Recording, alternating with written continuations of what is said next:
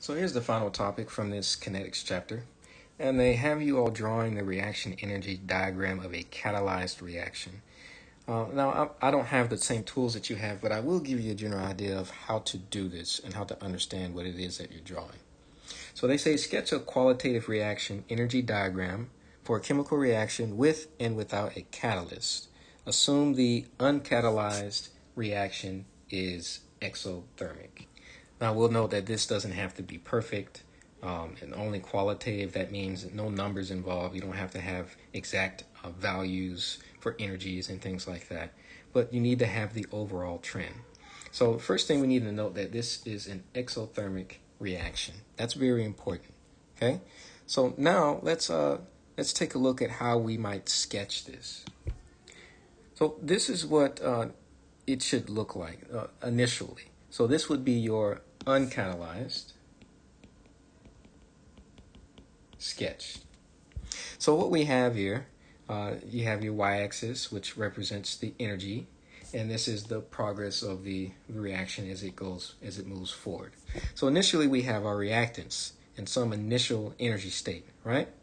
Well, for any reaction, it doesn't matter if the reaction is exothermic or endothermic. It doesn't matter. For any reaction, rusting, burning something, breaking down food, any reaction, there is something called an activation energy that must be overcome before the reaction proceeds forward. Now, that activation energy could be very great, or the activation energy could be fairly small. Regardless, there is an initial energy requirement that must be overcome for this reaction to move forward. For an uncatalyzed reaction, uh, the idea is that this activation energy, EA, EA stands for activation energy, this activation energy requirement or barrier that must be overcome before we can convert our reactants to products for an uncatalyzed reaction is always going to be greater than it is for a catalyzed reaction. That is exactly how catalysts speed up reaction rates. Without a catalyst, the reactants can be converted to products, but not until the energy requirements for the activation energy are met. Well, for a catalyzed reaction, catalysts speed up a reaction by lowering the activation energy requirements.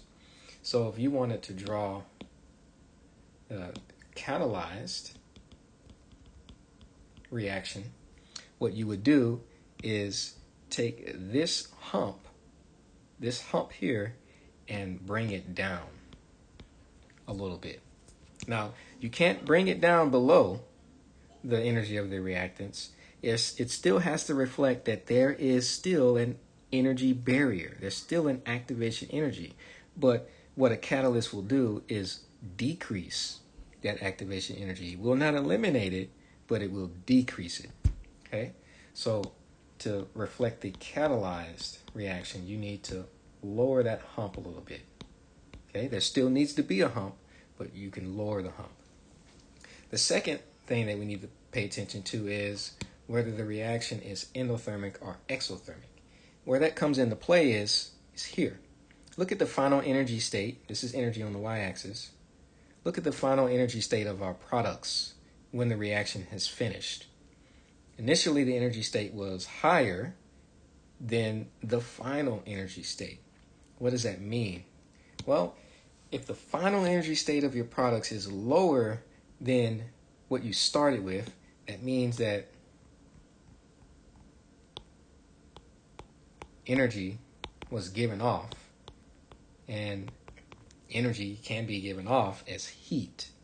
So, exothermic reactions we feel heat coming out of those reactions, burning something, oxidation, exothermic reaction, because the final state of the products is of a lower energy, uh, potential energy, and so that that energy um, difference here between the reactants and products is given off to the surroundings as heat, right? That's heat energy.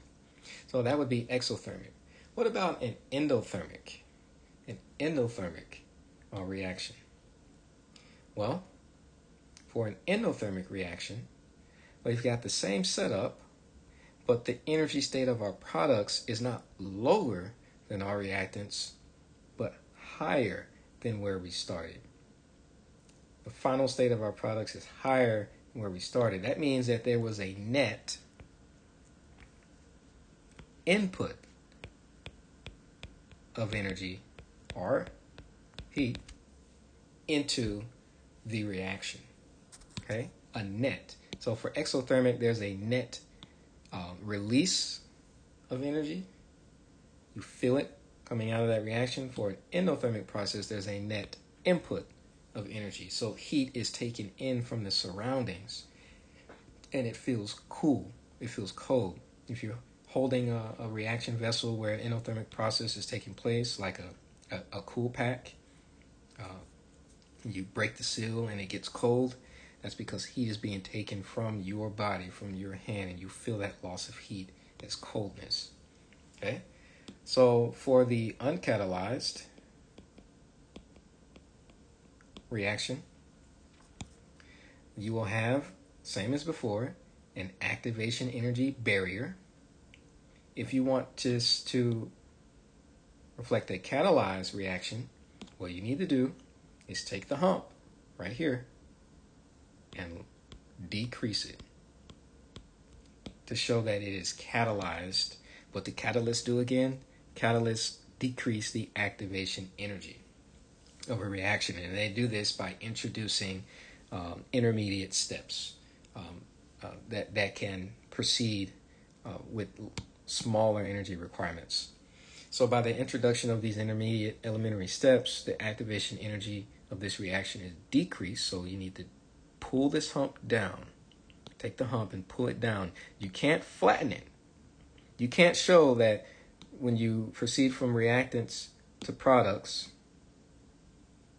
that there is no activation energy. There's no hump there. You can't do that.